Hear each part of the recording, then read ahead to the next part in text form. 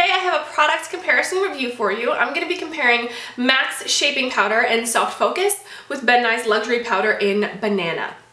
So I originally hopped upon Soft Focus by watching That Girl Melly's recent favorites video. She had this one and another shade of the shaping powders and she thought that Soft Focus was really comparable to Ben Nye's banana powder or she thought that it would be. And so I figure I love Ben Nye's banana powder so let me pick up Soft Focus and see if they really do compare. So as you can see in terms of the coloring, um, they're definitely very, very similar. Ben Nye's banana is certainly more banana and Soft Focus leans a little bit more on the peachy yellow side. So it's like a shade, a shade and a half or so darker than Ben Nye's banana. I hope that you guys can see that. It is showing up in my monitor, so I'm gonna assume that it's gonna pick up on camera. This one obviously is a pressed powder, whereas this one is a loose powder.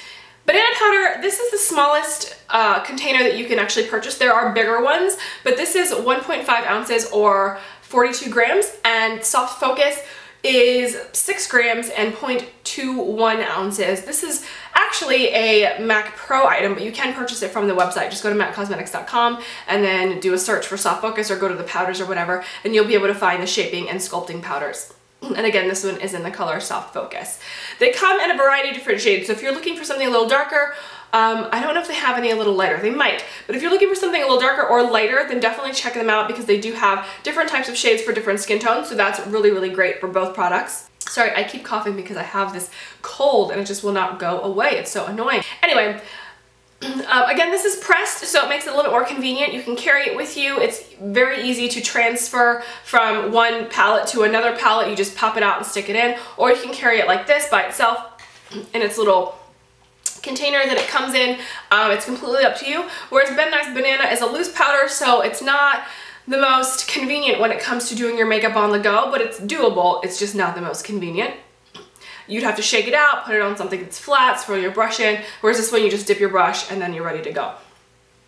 With what they do, I've been using them definitely to set the under eye area and I find that they work equally as well. I, I don't see a difference in how you know, my under eye area looks when I'm highlighting it with banana or when I'm highlighting it with soft focus. What I do find a difference in though is that I can use banana powder all over my face. It blends in with my under eye area, it blends in with my foundation, and it sets everything just fine and I can, I'm out the door, I don't have to use a setting spray or whatever. I don't have oily skin, I don't typically use primers, although there is a primer built into the foundation that I use. So when I use banana powder, it sets everything and I'm not an oil slick and I just keep going and it works really, really well for me. Soft focus does not do that. You can really only use it under the eye area or to highlight certain planes of the face under the eye. Um, your brow, your cupid's bow perhaps, but it's definitely not a setting powder. I did do a comparison one day of trying both, like using banana powder on one side to set everything and then using soft focus on one side to set everything and the soft focus side was just it's just not a setting powder. It's not meant for that, but I just thought that I would try it to see if I can use it that way. But it's definitely not meant for setting. This side was more, was definitely like dewy and um, I don't have oily skin, but it, it was looking a little oily. I had to, um, you know, blot and just basically just reapply powder and I used Ben Nye to reapply on the side once I was getting a little bit shiny. So definitely do not use this as a setting powder because it doesn't work. But again, I was just trying it. I know that it's not a setting powder. I was just trying it for comparison's sake. So because Ben Nye is a little bit more versatile, I do prefer this one. I find that I reach for this one a little bit more because I don't want to have to reach for like one setting powder and one, you know, under eye powder and one. So I just find that I'm reaching for Ben Nye's banana powder more than I reach for soft focus. But if you're just looking for something that's going to highlight your under eye area, this does a fantastic job. I, I, don't, I can't complain about it in that regard. We don't have sweat or oil glands under our eyes, so we're not going to usually get oily right there. And so this works out just fine for highlighting that area.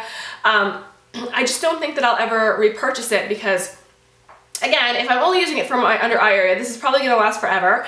And I can use this all over my face and it's a lot cheaper. So I will probably go with a cheaper version and be able to use it all over my face and just suck up the fact that I can't, it's not a pressed powder and it, it, I can't, you know, just dip my brush in and go. Um, as opposed to Soft Focus, which retails for more, um, doesn't do as many things as banana powder does.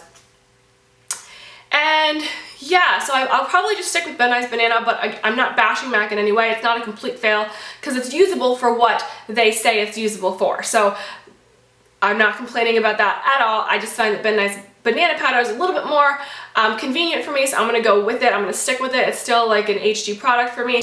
So yeah, I don't use, I wouldn't say that I use Ben Nye banana powder every single day, but when I'm gonna reach for something that's on the yellow shade of things, then I'm probably gonna reach for banana powder um, more than I reach for this. So yeah,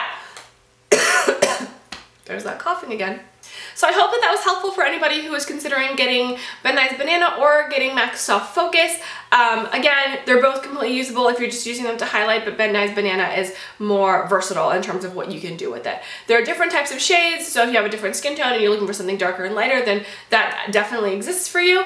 Um, if you have any questions, then leave those down below, or if you have any comments, leave those down below. If you know of any other powders that are very similar to MAC's Banana and you'd like for me to try it out and do a comparison, then leave that down below too, and I will try to pick it up and test it out for you. So that's it guys. I hope that you guys enjoyed this and I'll see you next time. Bye-bye. Down the center. So what I'll do is I'll take the dotting tool and make a straight line of dots from cuticle all the way to the tip of the nail. And then I'll sort of catty corner or window the dots that are along the side.